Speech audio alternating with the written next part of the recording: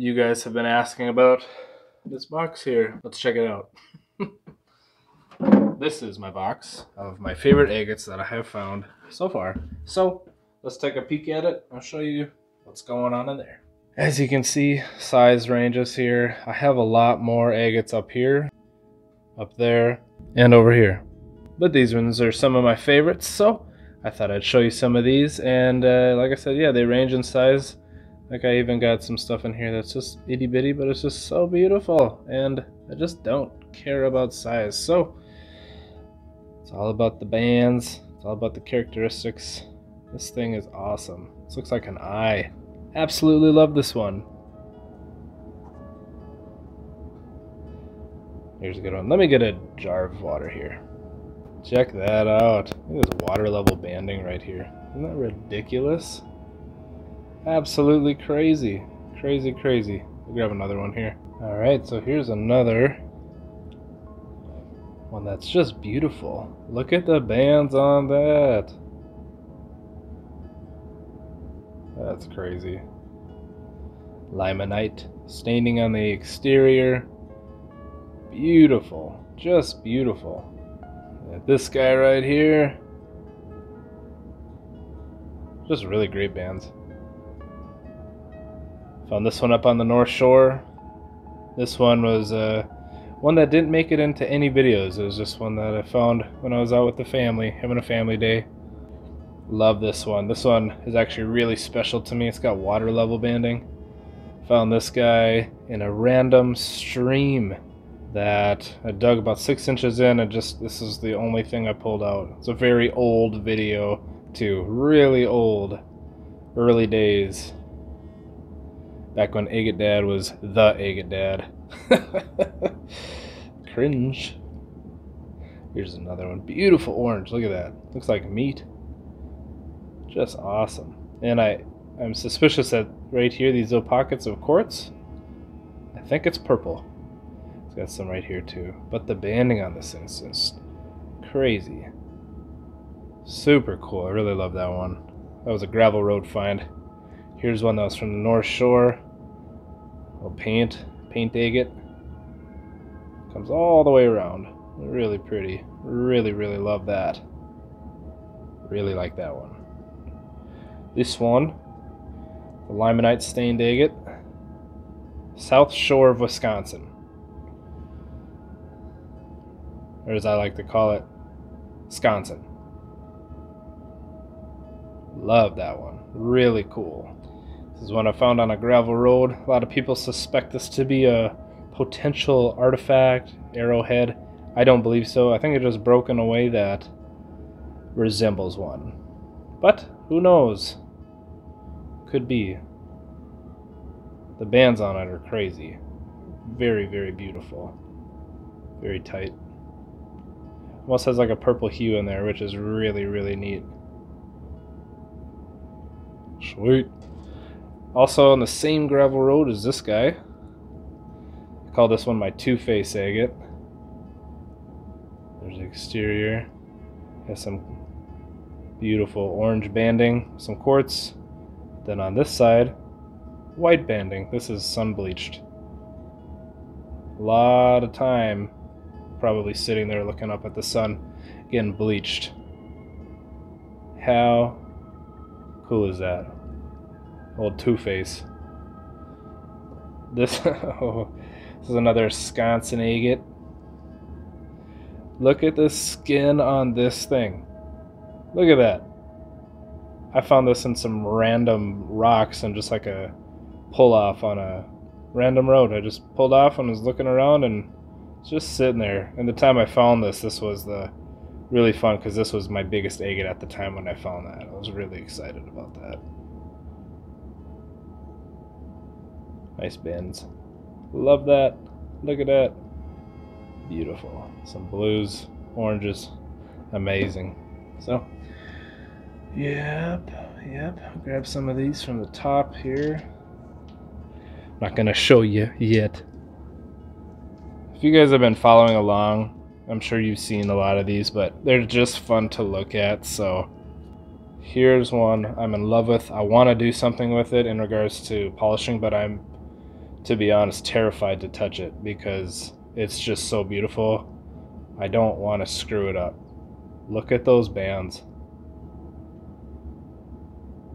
Show you the exterior here.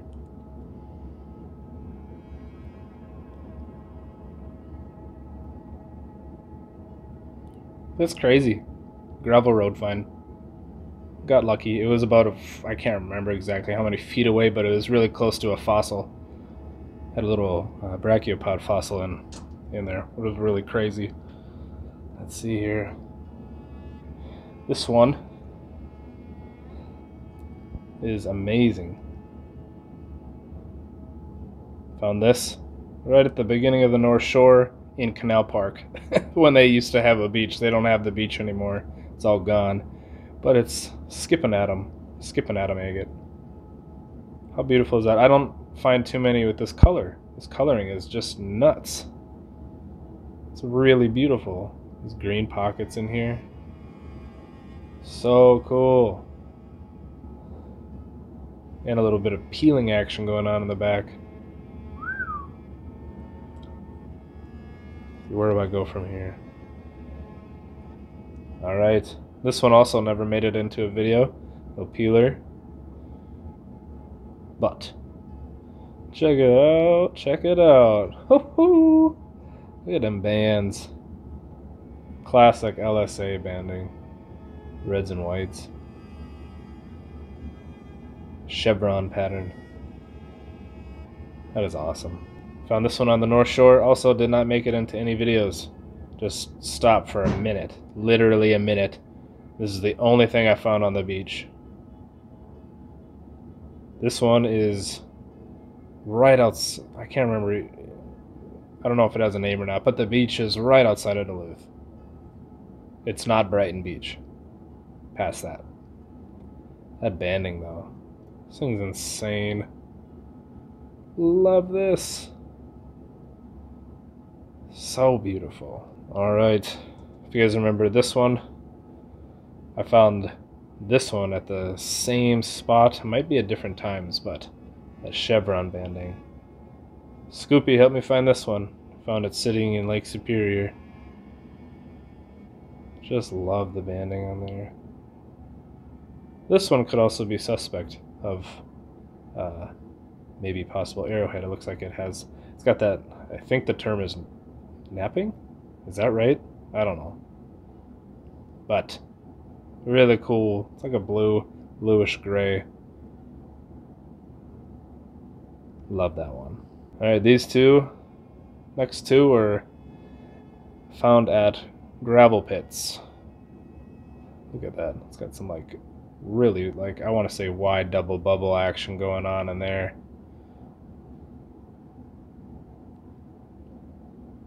So cool. Love the banding in that. Wild. Uh, this is one of my favorites. This is probably, if I had to pick like a top five, this one would be in the top five. Not for that. Just wait. Oh, yeah. Love how this limonite looks like it's just like, like oozing down. Like, it's so cool. It's got so many colors in there too. Yeah. See those like details right there? I just noticed that. And every time I look at these, I find something new. I just love it. Just love it. So neat. All right, we'll move on to these. This one is very special to me. Really, really special. Because I didn't find it.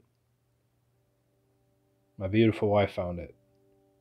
We were at a beach just looking around and she's like, look at this. What's this? This looks pretty cool. I was like, you know, that's, that's a Sagenite agate, right? You can see the sprays going on there and there and throughout. Yep, this is her biggest agate she's ever found. Not too bad. Really cool. I really love this one. Look at those details. Just crazy. You guys know this one. If you've been tagging along, this is my double bubble amethyst agate that I found on the south shore of Wisconsin. Recently polished. I'm not going to get that wet because it already looks amazing. Yep. Polished that with my flat lap. That thing's awesome. Alright, here's one. Didn't make it into any videos because I... Oh, oh no, show it. It's all quartz, right?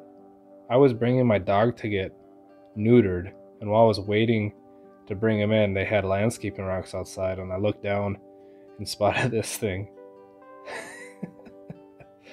How crazy is that? That's just really neat. I love it because the quartz in there is just like, this is so awesome. it's crazy. that I've never found an agate with that much quartz in it before. It's hardly agate. It's probably it's more coarse than agate. But yeah, that's nuts. Sweet. Cool, cool. Found this bad boy in a beautiful little creek along the North Shore, just completely dominated by limonite staining. So awesome. So cool. Look at that face. What is that? It's so awesome. Yeah, this thing is just crazy. Some of these, you know, I get suggestions like you should cut that or you should tumble that. And a lot of these, you know, you look at it, I'm like, I'd love to, but I feel like I'd regret it. Because there's a few of them that I've cut. I had another one that was similar to this and I cut it. And I just, like, the bands are beautiful inside, but I just kind of regretted cutting it. That's pretty cool. So, all right, the great white. Let me get this thing wet. This thing is my biggest agate I've ever found. It's insane. The bands on it are nuts. This is the most boring part about it in the back here. I don't know if you could consider it a back, but I call it the back or the bottom. Yes. The bands on this thing are absolutely amazing. I love this part. This part is just crazy. Whites, blues, pinks, oranges.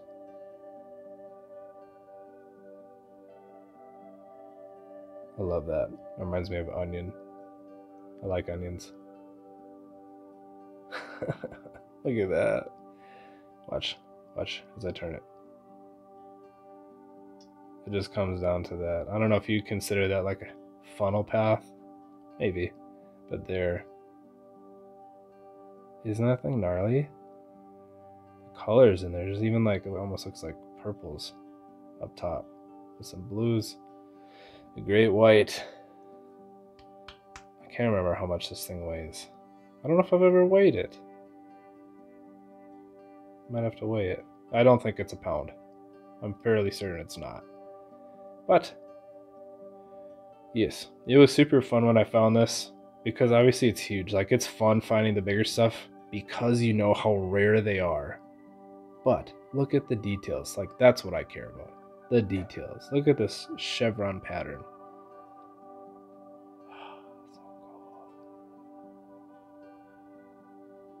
Sitting six inches down in some eroded dirt. I found it. It was crazy. Crazy, crazy. This is also one I will never do anything to ever, most likely. yeah. Wow. Pretty cool. Pretty cool. All right, those are my favorite agates in my agate box, box of agates.